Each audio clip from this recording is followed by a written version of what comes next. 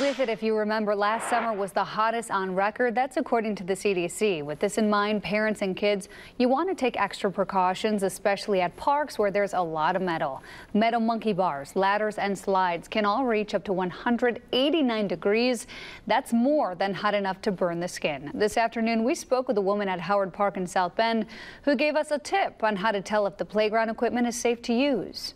You can feel the metal or concrete with your hand for five seconds and if it gets too hot then you know it's not it, then it's then you know it's too hot to play outside. But if it's not too hot it won't burn the back of your hand and if it burns the back of your hand you stay inside or you go do something different like swimming I said a, a woman. Yeah. She's a young woman, but very, very smart there.